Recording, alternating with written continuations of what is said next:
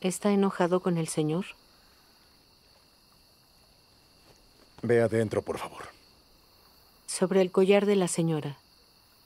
El señor debe tener sus razones. Sus razones.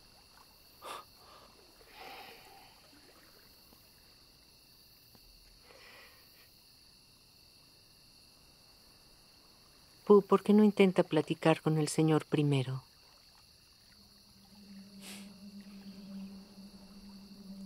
Claro. Voy a hablarlo con él.